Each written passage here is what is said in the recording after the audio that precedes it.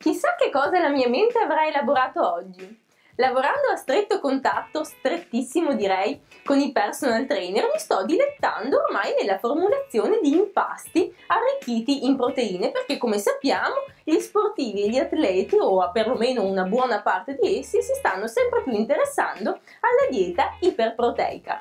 Quindi dopo barrette, budini, crostate, pizze e quant'altro, oggi è la volta del pane proteico che prepareremo mescolando la farina bianca con un po' di proteine in polvere che possono essere proteine concentrate della soia oppure semplicemente proteine del siero del latte e poi per dare un tocco anche un po' rustico al pane utilizzeremo un po' di semi di papavero. Dunque amici sportivi mettiamoci all'opera e vediamo quali sono dosi di ingredienti per preparare il pane proteico. Per preparare una pagnottina proteica da 400 g circa sono necessari grosso modo 200 ml di acqua, 170 g di farina manitoba.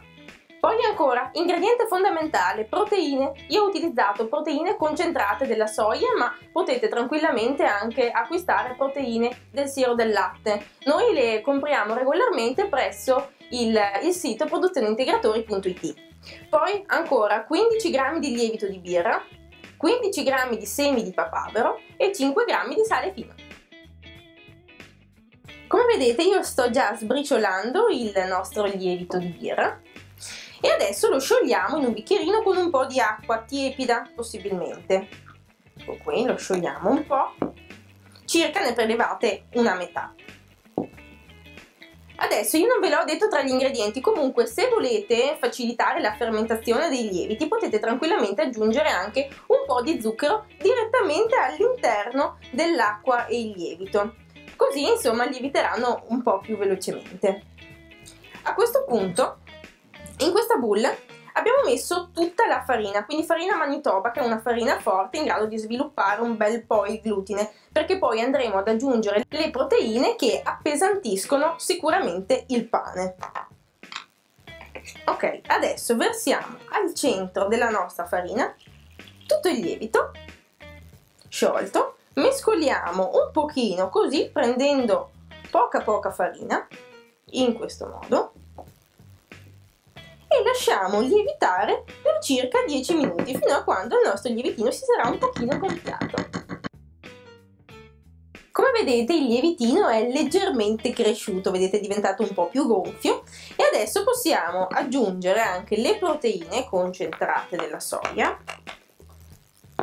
così, il sale. Magari mettetelo sopra le proteine ed evitate il contatto diretto con il lievito perché come sappiamo come lo ripeto anche sempre il sale va ad alterare un pochino la fermentazione dei lieviti. Poi ci aggiungiamo anche i semi di papavero per dare quel tocco un po' rustico. Se volete potete anche sostituirli con dei semi di sesamo.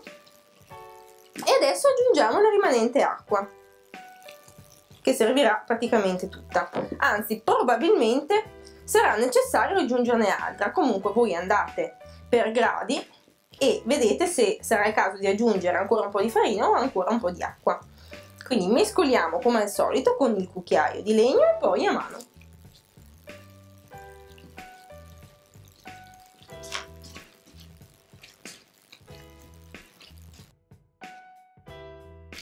lavorando la pasta da circa 5 minuti per facilitare la formazione del glutine così otterremo anche un risultato bello soffice. Adesso sbattiamo un pochino il nostro impasto che deve essere come vedete piuttosto molliccio quindi se è troppo duro l'impasto fate attenzione e aggiungete ancora acqua. Molto bene, adesso vedete io prendo uno stampo di queste dimensioni quindi diametro 18 cm poi facciamo una pallina mettiamo all'interno il nostro panettino magari per renderlo ancora un po' più bello con delle forbici facciamo delle incisioni così e questo lo mettiamo subito a lievitare per circa un'oretta, un'oretta e mezza Attenzione perché non lieviterà come un pane normale perché come vi ho già detto abbiamo le proteine che appesantiscono un po' il tutto. Comunque dovrà risultare bello gonfio. Dopo circa un'oretta, un'oretta e mezza questo è il risultato. Come potete vedere il pane si è un po' gonfiato ma non troppo. E adesso lo mettiamo subito in forno alla temperatura di 190 gradi, quindi il forno deve essere già caldo mi raccomando, e lo lasciamo cuocere per circa 25 minuti. Eccolo qui! Sicuramente i sostenitori della dieta iperproteica apprezzeranno questa mia ricetta, ma guardiamo un pochino le caratteristiche di questo pane. All'esterno si presenta molto croccante e anche ha una bella doratura invitante.